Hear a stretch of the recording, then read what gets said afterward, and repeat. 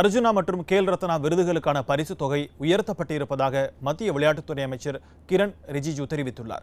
தேசிய விளையாட்டு தினத்தை முன்னிட்டு டெல்லி தேசிய விளையாட்டு அரங்கில் உள்ள மேஜர் தியான் சந்த் சிலைக்கு மத்திய விளையாட்டுத்துறை அமைச்சர் கிரண் ரிஜிஜு மாலை அணிவித்து மரியாதை செலுத்தினார். பின்னர் செய்தியாளரிடம் பேசிய அவர் விளையாட்டு வீரர்களை ஊக்குவிக்கும் விதமாக அர்ஜுனா மற்றும் கேல் ரத்னா விருதுக்கான பரிசு தொகை உயர்த்தப்பட்டிருப்பதாக தெரிவித்தார்.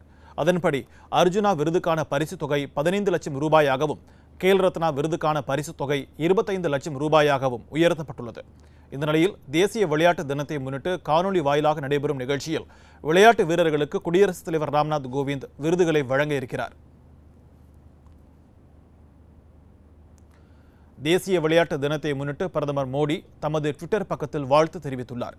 இந்நாளில் மேஜர் தியான் சந்த் அவர்களை நினைவு கூர்ந்த பிரதமர் அவர் ஹாக்கி மட்டை கொண்டு செய்த மந்திரத்தை ஒருபோதும் மறக்க முடியாது என்று தெரிவித்துள்ளார். விளையாட்டு வீரர்களின் திறமை மற்றும் வெற்றிக்கு உறுதுணையாக இருந்த அவர்களது குடும்பத்தினர் மற்றும் பயிற்சியாளர்களை பாராட்ட இதுவே சிறந்த தருணம் என்றும் பிரதமர் மோடி ட்விட்டரில் குறிப்பிட்டுள்ளார்.